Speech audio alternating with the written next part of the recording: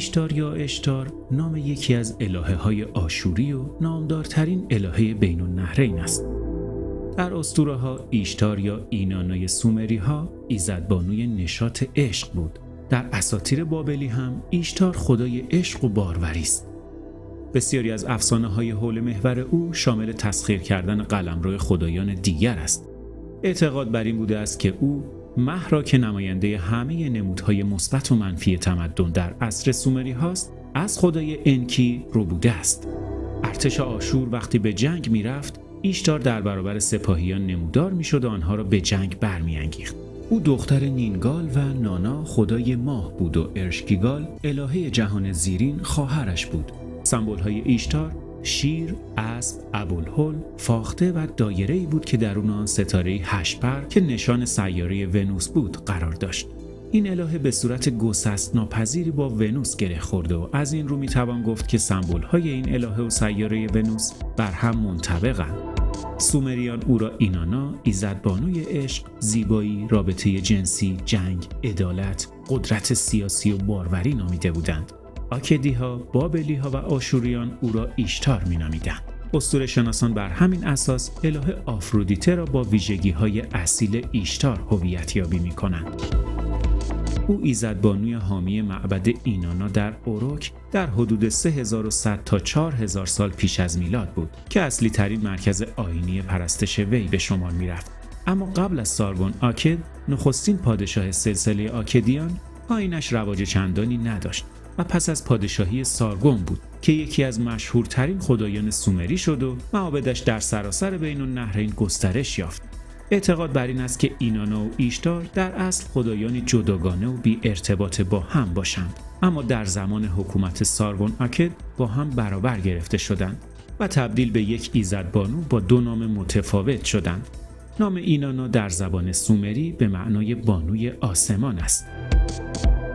با مرور چند داستان اسطوره‌ای درباره ایشتار این ایزد بانوی بزرگ بین النهرین را بهتر بشناسید.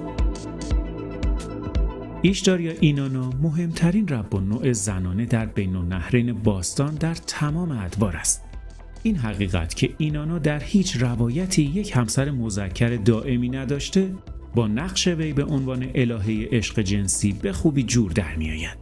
حتی دوموزی یا تموز که اغلب عاشق وی معرفی شده دارای روابطی بسیار مبهم با او بوده و او عاقبت مسئول مرگش نیز می شود.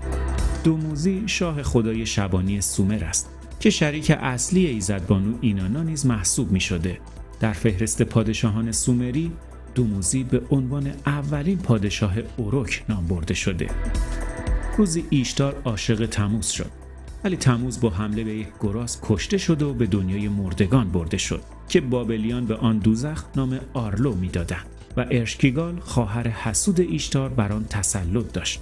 ایشتار به اندوه سخت گرفتار شد و تصمیم گرفت به آرلو سفر کند و با شستن زخمهای تموز در یکی از چشمه های شفا بخش زندگی را به وی بازگرداند. چون ایشتار به آرلو فرو رفت توسط خواهرش زندانی شد. زمین که از وجود او دیگر الهام نمی گرفت همه هنرها و راه های عشق ورزی را یک بار فراموش کرد. جمعیت کم شد و خدایان که دریافتند قربانی های زمین کاهش یافته پریشان شدند و فرمان دادند که ارشکیگال خواهرش ایشتار را آزاد کند و او به فرمان خدایان گردن نهاد. ولی ایشتار به بازگشتن به زمین جز آنکه تموز را همراه خود ببرد خورسندی نمی‌داد تا اینکه درخواست وی پذیرفته شد.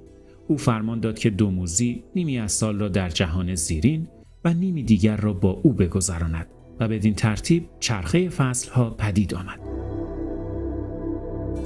در حماسه گیلگمش نیز آمده است که ایشدار پس از پیروزی گیلگمش و انکیدو در نبرد با خدایان به سراغ گیلگمش رفته از او می‌خواهد جفت او باشد و نطفه خود را به وی ببخشد وقتی گیلگمش تاج خود را بر سر گذاشت ایشتار شکوهمند سر بالا گرفت و زیبایی گیلگمش را دید و گفت گیلگمش نزد من بیا و داماد من باش. نطفه جسم خود را به من عطا کن. بگذار من عروس تو تو شوهر من باشی. برای تو گردونی از سنگ لاجورد و طلا مهیا خواهم ساخت. با چرخه های طلا و دسته های مسی و دیو های قدرتمند طوفان به جای قاطران بارکش در خدمت تو خواهند بود. ایشتار اما بارها و بارها با نشاط عشق بزرگان را به خاری کشیده بود. از همین رو گیلگمش درخواست وی را رد کرده ننگ های ایشتار را به او یادآور شد. ایشتار براشفته به نزد پدر رفت و به تهدید گاو نر آسمانی را از پدر خود گرفت و به نبرد با گیلگمش فرستاد. گیلگمش در این نبرد گاو نر آسمانی را از پا درآورد و ران گاو را به سوی ایشتار افکند. در باب رفتن ایشتار به دنیای زیرین نیز افسانه سومری چنین است که در دین سومری ایرکالا گودالی تاریک و ترسناک تصور می‌شد که در اعماق زمین قرار داشت و زندگی در آن به شکل سایه از زندگی بر روی زمین ترسیم میگشت. حاکمان ایزدبانو ارشکیگال خواهر اینانا بود.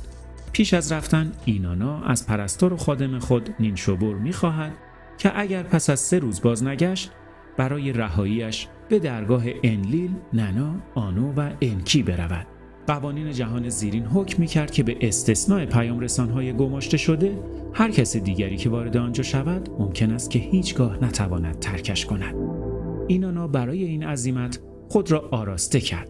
دستار بست و با کلاهگیس، گردنبند لاجورد، مهر بر سینه، لباس پالا که جامعی بانوانه بود، ماسکارا یا سرمه، توقه و انگشتر طلا خود را آراست.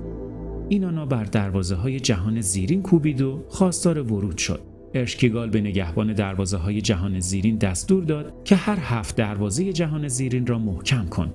سپس یک به یک هر دروازه را کمی باز کن. بگذار اینانا وارد شود. به هنگام ورودش جامعه های فاخر او را از تن در بیاور. اینانا از هر هفت دروازه گذشت و در هر کدام بخشی از لباسهای یا جواهراتی را که در اول داستان پوشیده بود از تن به در آورد و در واقع خلع قدرت شد. هنگامی که به درگاه خواهرش رسید برهنه بود. اما وقتی به خواهرش ارشکیگال رسید او را از اورنگ بلند کرد و خود بر جایگاهش نشست. آنوناکی ها هفت داور علیه او حکم کردند. با نگاه مرگ به او خیره شدند. با گفتاری پر از خشم با او سخن راندند. بر گناه سنگین او خروشیدند زن پریشان به مرداری تبدیل گشت و مردار بر چنگکی آویزان شد سه روز و سه شب گذشت نینشوبور به پیروی از سفارش ها به معبد انلیل، ننا، آنو و انکی رفت و از یک به یک آنها درخواست کرد که اینانا را رهایی بخشند.